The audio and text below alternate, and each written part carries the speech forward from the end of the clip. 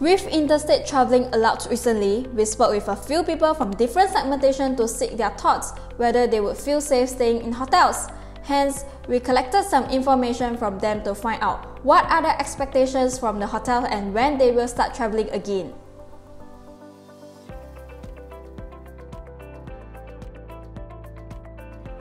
Take temperatures when we come in and make sure that the people that come to the hotel are the people that staying, not just like, you know, just visitors to visit like the hotel. I went to Shell Petrol. They will put the nozzle, put things that I sanitize every how many hours or like half an hours or 15 minutes. I mean like hotel also can do that. My expectation will be, of course, there'll be proper social distancing. I would like to see records of the room uh, have been disinfected. Maybe in terms of air circulation, and things like that. Uh, because now it's COVID uh, pandemic, so they have take all the following all the SOP.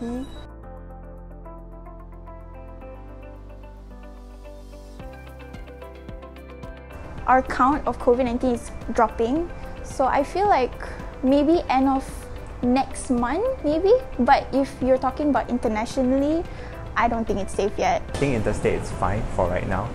Um, if you're talking about international travel, it's probably going to be like when most countries have their travel restriction lifted.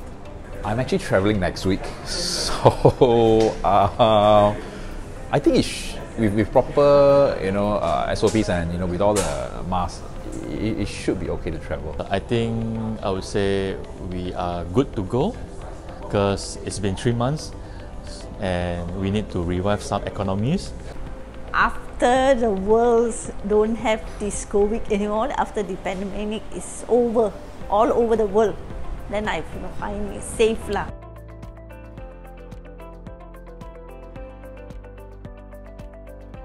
Mm, you know, housekeepers they have the they they can um, have COVID nineteen. You know, it can happen. So if you were to change them to robots that can help with um, spraying air freshener or like providing hand sanitizers and cleaning my room, I'll be much safer. Putting a service element to it as well, so providing nice packs of masks and sanitizers and that type of thing. Maybe they will providing you those food with uh, prevention uh, or, or, or, boost your immune system, the kind of things lah might be. Say for instance when I go into the hotel and stuff like that, um, that there's a buzzer that uh, that when people comes uh, you know a meter too close with my phone, maybe through Bluetooth or whatever, uh, my phone and that person's phone will buzz. So just a warning that hey, too close. Maybe the hotel could publish what is it actually doing for for the hotel guests. Besides the normal things like you know providing the sanitization and all that, what else have they done?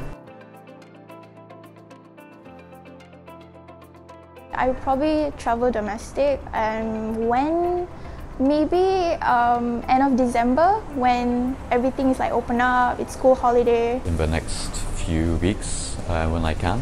I'm traveling for work next week, uh, but for holidays wise, uh, I am planning to travel uh, sometime around September with my family. This moment for me, like myself, not to travel. To be very honest, it's not to travel because we don't know like any one of us is actually the virus carrier. I only will travel when there's no case at all. All over the world they say no more case at all, then I will travel. Our survey shows that the majority are willing to travel even though Malaysia is still recovering from COVID-19. From this video, it can be a leading hint for hotels to revamp and adapt with the future target market. Do check out our page for our upcoming updates. Thanks for watching!